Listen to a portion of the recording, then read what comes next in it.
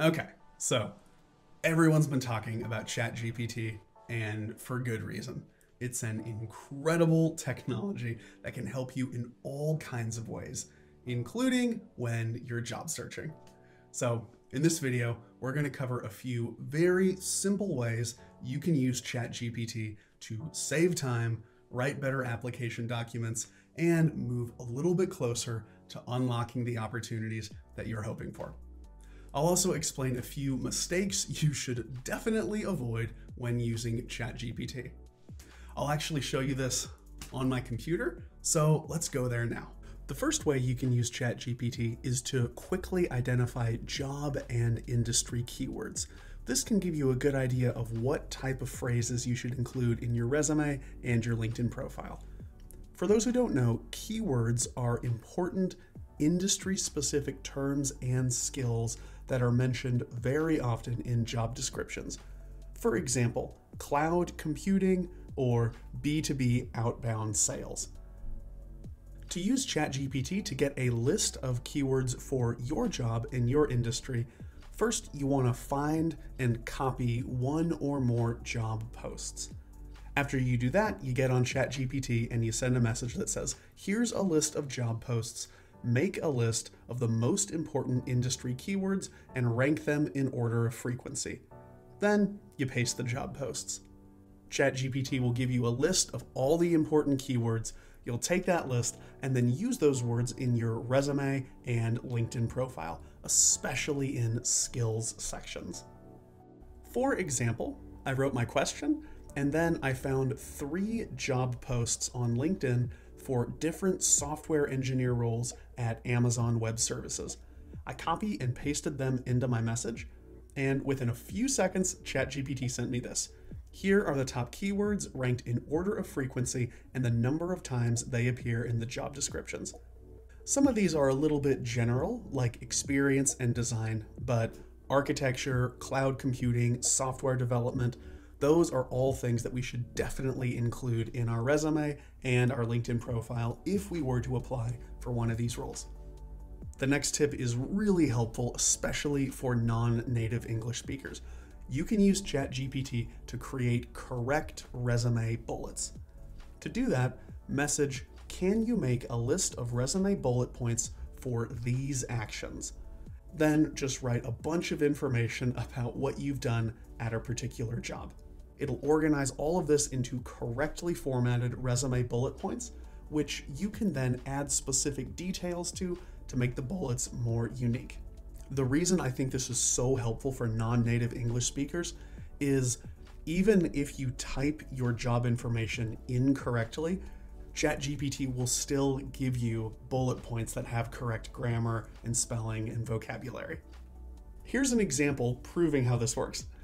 I asked, Can you make resume bullet points for these actions? And then I intentionally wrote this with mistakes.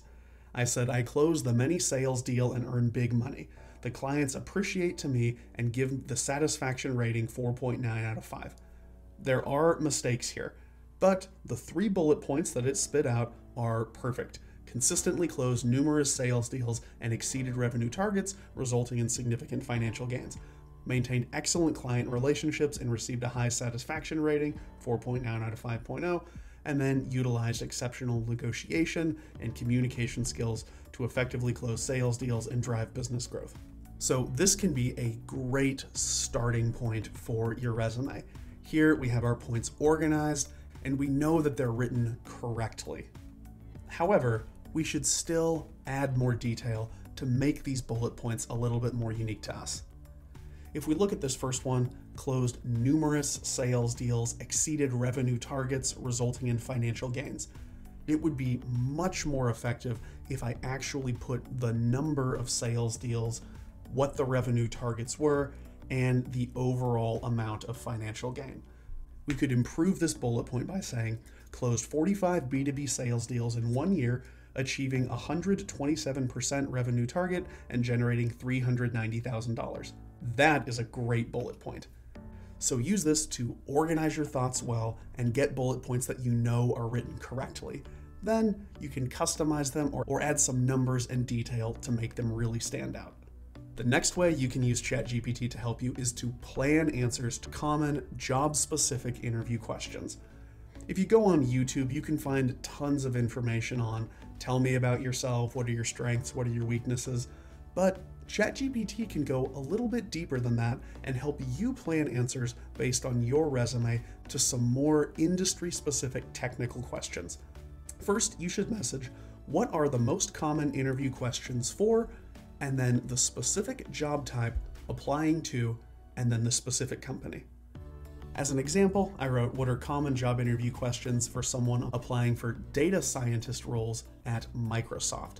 Then we got a list of 10 questions related to data science. How would you approach a problem when you have limited data? Can you explain a data science project you've completed in the past? What's your experience with machine learning algorithms? These can be a little bit more targeted than the more general, where do you see yourself in five years style questions. Once you get your list of questions, you can message ChatGPT again and say, if I copy and paste my resume and then interview questions, can you help me plan outlines to answer the questions? After that, paste your resume and paste the list of questions you got from the earlier exchange. When you do that, you'll get some example answers that are actually customized based on your resume. So I did that here, and I actually pasted my own personal resume into ChatGPT, along with three common questions. Imagining I was applying for a sales role. What's your approach to managing client accounts? What sales experience do you have? And what's your greatest achievement? And I was actually pretty impressed with what ChatGPT came up with because these are all highly tailored to what I talk about in my resume. However, like with the resume bullets, you probably would want to use these as starting points and then add a little bit more information. When we look at this answer that talks about my approach to managing client accounts, it's good, but it's still lacking some examples and detail. So I could take this, I could add a few numbers or notable examples from my career, and then I would want to connect this to the company I'm applying to, so I would also incorporate some information about that company. Talk about how my approach for managing client accounts would work for them and their business. But still, interviews can be stressful, and this can save you a ton of time and really put you in the right direction when it comes to getting your answers prepared. So, in summary, ChatGPT and other technologies like it can be awesome resources that you should definitely take advantage of. However, for something as important as the future of your career, don't rely solely on AI. Whatever ChatGPT creates can be a great starting point, but it probably shouldn't be the final version of your resume or your interview answers whatever you get from ChatGPT, you should probably still practice and get feedback from a person to make sure you make the best impression possible when it matters. Okay, so that's about all for this video. I would love to hear what do you think of ChatGPT and other similar technologies? You can let me know in the comments below if you've used it, if you like it, if you don't like it. I would love to hear your perspective. Thanks a lot for watching, and I will see you in the next video.